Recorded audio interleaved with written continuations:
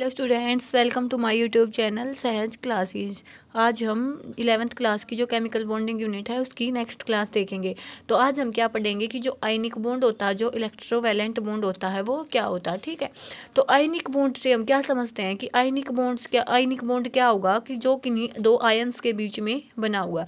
ions कौन से कौन से होते हैं एक तो होता है पॉजिटिव एक होता है नेगेटिव कि जो पॉजिटिव नेगेटिव आयन्स के बीच में जो बॉन्ड बनता है ना उसको हम क्या बोलते हैं आयनिक बॉन्ड बोल सकते हैं या इलेक्ट्रोवेलेंट बॉन्ड बोल सकते हैं अब देखो पॉजिटिव के केस में हम क्या देख सकते हैं कि मान लिया हमने एन ए है तो ये इसको कैसे होगा ये पॉजिटिव कैसे बन सकता है कि स्टेबिलिटी के लिए एन ए प्लस प्लस में इलेक्ट्रॉन लिख दें ऐसे जब नेगेटिव एनायन की नेगेटिव आयन की बात होती है हम तो मोस्टली यही लिखते हैं कि जो सी एल नेगेटिव हो गया इस दो केस से यहाँ से हम दो डेफिनेशन देखेंगे फर्स्ट क्या हो गई कि हमने क्या देखा है कि कोई भी न्यूक्लियस है जो भी अपना एन ए का है जो भी मेटल का न्यूक्लियस है उसमें से हमें इलेक्ट्रॉन को हटाने के लिए कुछ न कुछ आई कुछ न कुछ एनर्जी हमें देनी पड़ेगी ठीक है तो उसको हम क्या बोलेंगे ionisation enthalpy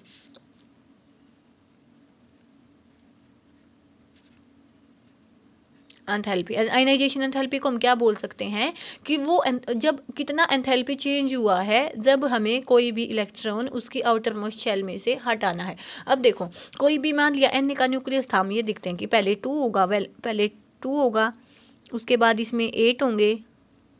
उसके बाद है वन तो हमें ये इलेक्ट्रॉन को हटाना है हटाना है तो कुछ ना कुछ हमें एनर्जी देनी पड़ेगी तो इसको हम क्या बोलेंगे एंडोथर्मिक ठीक है ये तो क्या हो गई अपनी आयनाइजेशन एंथैल्पी की किसी भी एटम्स में से उसकी वैलेंस शेल में से इलेक्ट्रॉन को हटाने के लिए हमें कितनी एनर्जी देनी पड़ती है उसको हम क्या बोलते हैं आयनाइजेशन एंथैल्पी अब क्या होगा जब हमने सी का कोई न्यूक्लियस लिया है उसको हमने इलेक्ट्रॉन दिया तो सी नेगेटिव में हो गया तो यहाँ से हमें क्या मिलेगा इलेक्ट्रॉन गेन एंथैल्पी है तो यहाँ पे क्या होगा कि जब भी है ना कोई भी न्यूक्लियस है पहले मैंने लिया हमने सी का न्यूक्लियस लिया तो इसमें क्या था टू एट सेवन अब जब हमने इसमें एक इलेक्ट्रॉन दे दिया तो इसने क्या मिली इसको स्टेबिलिटी मिल गई स्टेबिलिटी मिलते क्या होगा इसकी एनर्जी तो कम हो जाएगी लेकिन ये कुछ ना कुछ क्या देगा एनर्जी हमें देगा तो ये क्या होता है ये प्रोसेस क्या होता है ये एक्जोथर्मिक भी हो सकता है एंडो थर्मिक भी हो सकता है ये किस पे डिपेंड होगा जैसे हमने कोई भी इलेक्ट्रॉन दिया है उससे वो न्यूक्लियर स्टेबल हो तो तो हम क्या बोलेंगे कि ये जो प्रोसेस है ये क्या होगा एक्जोथर्मिक होगा या तो मान लिया मैं एन को ले लूँ इसमें मैंने ये बोलूँ कि हमने इसमें इलेक्ट्रॉन दे दिया और ये एन नेगेटिव हो गया लेकिन इस पर तो इसकी स्टेबिलिटी तो नहीं हुई स्टेबिलिटी तो नहीं मिली इसको तो इसको हम क्या बोल सकते हैं कि एंडोथर्मिक हो जाएगा कि भाई हमें स्टेबिलिटी नहीं मिली लेकिन जब कोई सिस्टम है वो एक इलेक्ट्रॉन लेने के बाद स्टेबिलिटी गेन कर रहा है तो उस केस में हम क्या बोलेंगे वो क्या है एक्जोथर्मिक है है तो यहाँ से मेन हमें दो डेफिनेशन मिल गई फर्स्ट तो क्या थी आइनाइजेशन एंथैल्पी किसको बोलेंगे किसको बोलेंगे आइनाइजेशन एंथैल्पी कि कोई भी न्यूक्लियस है उसमें से हमें एक इलेक्ट्रॉन को हटाना है तो कितना एंथैल्पी चेंज हुआ है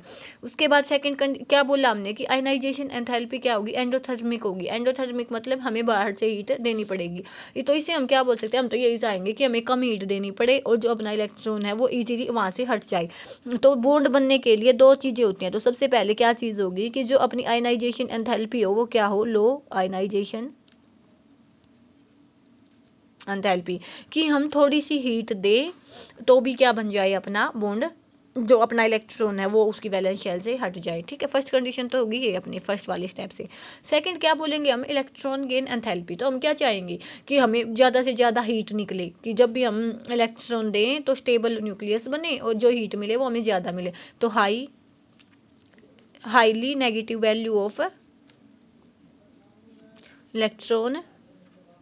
gain enthalpy कि जो इलेक्ट्रॉन गेन एंथैल्पी हो इसकी जो वैल्यू हो वो क्या हो हाईली नेगेटिव हो तो ये दो चीज़ें होंगी तभी जो अपना वो इन्फॉर्मेशन होगा वो ईजिली हो जाएगा ठीक है तो होप जो ये समझाया मैंने आपको समझ आ गया इसके बाद हम क्या देखेंगे तो ठीक ये दोनों चीज़ तो ठीक है लेकिन ऐसा केस भी हो सकता है कि इन दोनों की चीज ये दोनों बॉन्ड जब इन दोनों को मिलाएंगे तो हमें नेगेटिव वैल्यू मिलेगी तो ये बॉन्ड बनेगा तभी लेकिन एक केस क्या होगा कि मान लिया हमने इन दोनों को मिलाया तो हमें क्या वैल्यू मिल गई पॉजिटिव वैल्यू मिल गई कि लो आयनाइजेशन एंथैल्पी को और जो ये इलेक्ट्रॉन गेन एंथैल्पी है दोनों को मिलाया तो पॉजिटिव वैल्यू मिलेगी तो उस केस में बॉन्ड कब बनेगा जब बॉन्ड जो हमने न्यूक्लियस लिया है जो क्रिस्टल हम बनाना चाहते हैं उससे उसको बनने के बाद जो एनर्जी रिलीज होगी वो इससे कहीं ज़्यादा नेगेटिव हो ठीक है तो यहाँ से हम इसकी डेफिनेशन देखें तो क्या हो जाएगा आप चाहें तो शॉट ले सकते हैं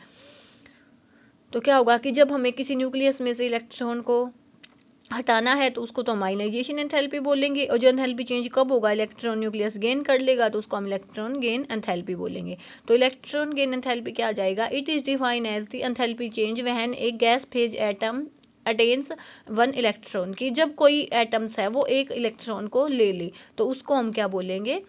जो अपना इलेक्ट्रॉन गेन एंथैल्पी बोलेंगे ये एंडोथर्मिक भी हो सकता है एक्जोथर्मिक भी हो सकता है ये मैंने आपको बता दिया कि जब वो इलेक्ट्रॉन लेने के बाद स्टेबिलिटी गेन करेगा तो वो एक्जोथर्मिक हो जाएगा उसके बाद मान लियो उसको हमने मतलब फोर्सफुली दिया है उसके बाद उसको कोई स्टेबिलिटी नहीं हुई तो उस केस में हम क्या बोलेंगे वो एंडोथर्मिक है आयनाइजेशन एंथैल्पी किसको बोल सकते हैं it is defined as the enthalpy given to gaseous atom to remove its outermost electron कि किसी भी गैसियस एटम में से उसके जो आउटर मोस्ट इलेक्ट्रॉन को हटाने के लिए कितनी एनर्जी हमें देनी पड़ेगी हमेशा ही क्या होगा एंडोथर्मिक होगा